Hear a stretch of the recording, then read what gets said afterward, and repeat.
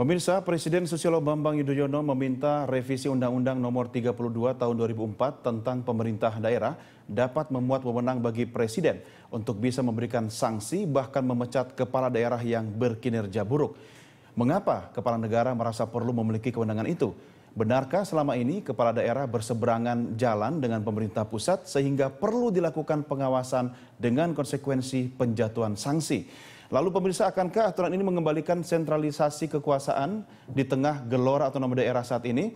Kita akan membahasnya bersama narasumber yang telah hadir di studio, staf ahli Mendagri bidang pemerintahan, Saud Sitomorang, kemudian Ketua Umum Asosiasi Pemerintahan Kabupaten Seluruh Indonesia yang juga Bupati Kutai Timur, Isran Nur, dan peneliti otonomi daerah dari LIPI, Siti Zuro.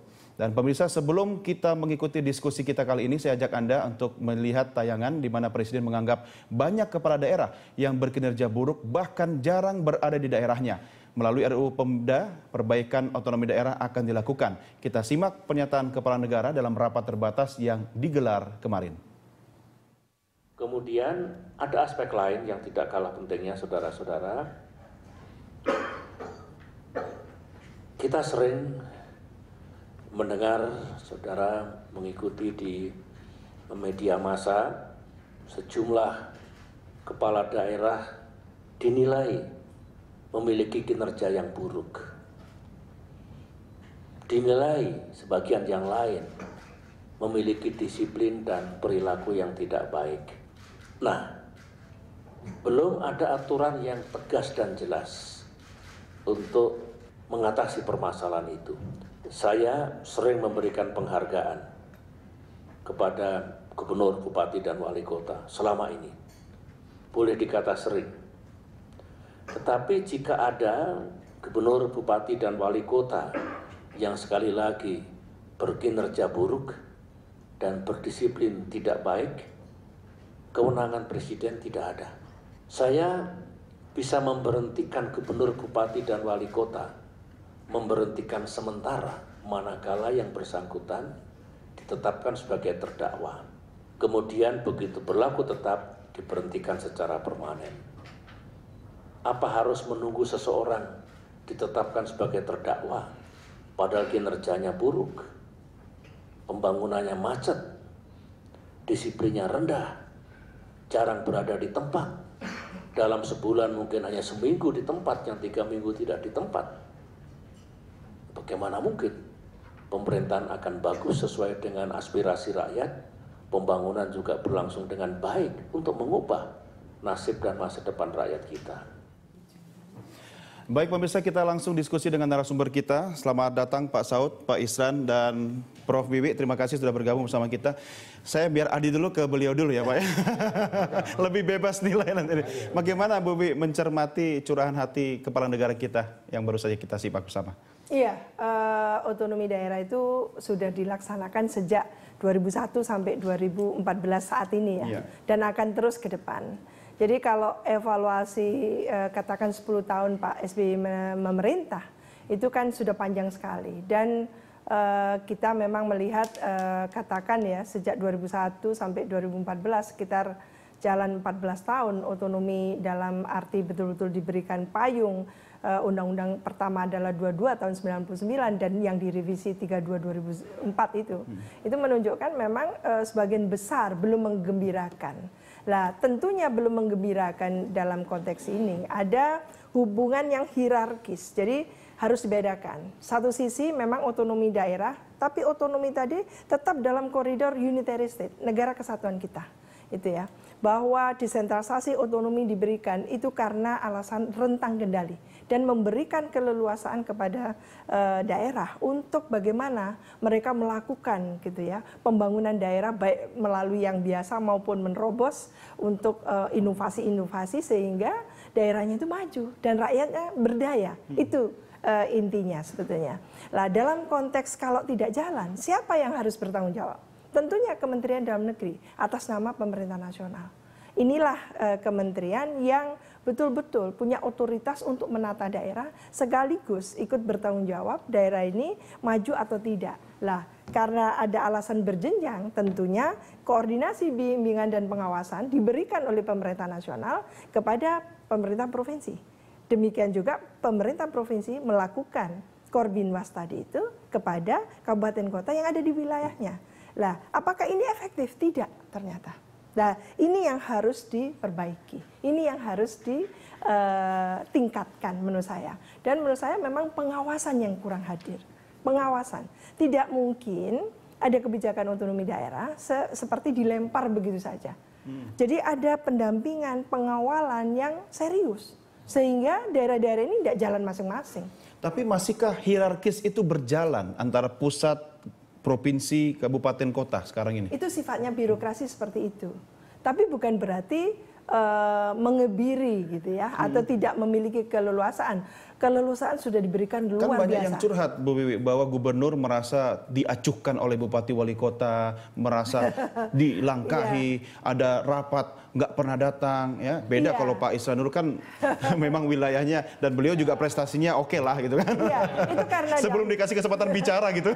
Gimana itu karena dampak Undang-Undang 22 tahun 99 yeah, yeah. yang seolah-olah memotong hierarki provinsi. Seolah-olah uh, uh, dari pemerintah nasional langsung turun ke kabupaten kota. Lah ini hubungannya eh, putus-putus uh, seolah-olah uh, hanya sebagai perantara. Hmm. Padahal tidak seperti itu. Ternyata setelah ini di, dipraktekkan Undang-Undang 22 tahun 99 sampai tahun 2004 ya. Hmm. Uh, ini yang kelihatannya justru membuat uh, kurang efektifnya uh, kinerja dari Pemda-Pemda karena memang kurang ada korbinwas tadi. Yeah. Contoh pemekaran daerah liar Hmm.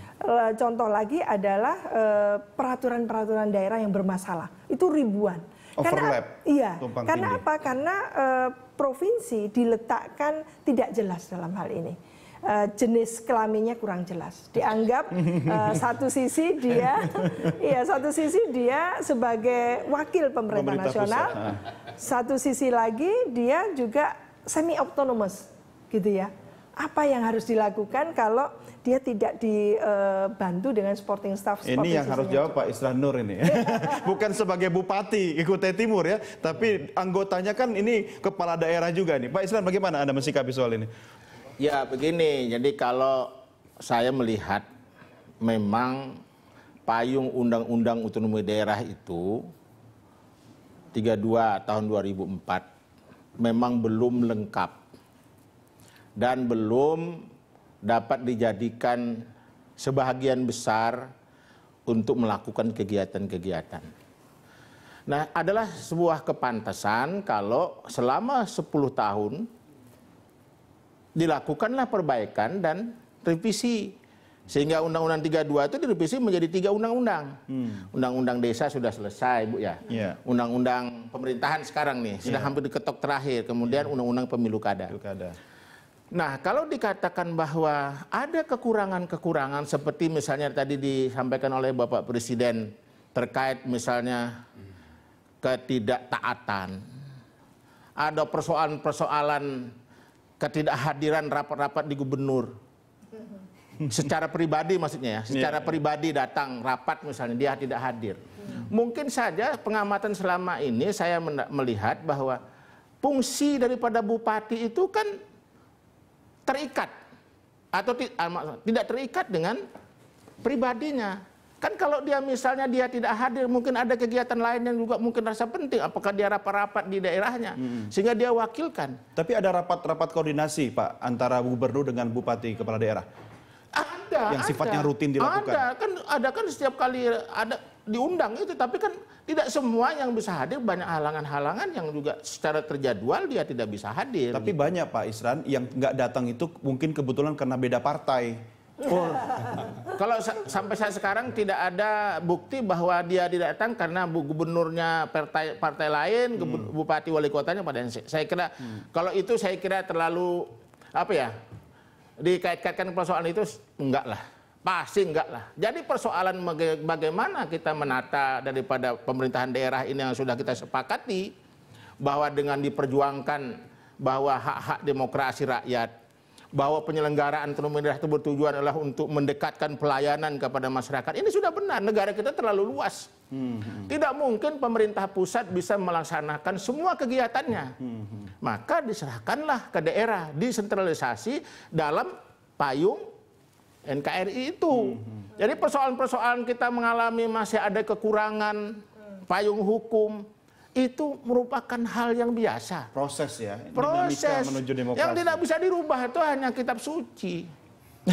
Kalau yang namanya undang-undang dasar kita sudah empat kali Iya. amandemen, apalagi cuma undang-undang kan begitu. Saya kira lah kita, kita menghadapi hal-hal seperti ini menurut saya kita harus legowo, kita harus terbuka, jangan menyesali persoalan-persoalan sudah gitu loh. Iya, iya. Kita perbaikilah. Ini menarik Pak Islam bicara soal kitab suci tidak bisa dirubah. Tapi di Indonesia kitab suci memang tidak bisa dirubah, tapi proses pengadaannya bisa di Nah, itu proyekin. soal lain.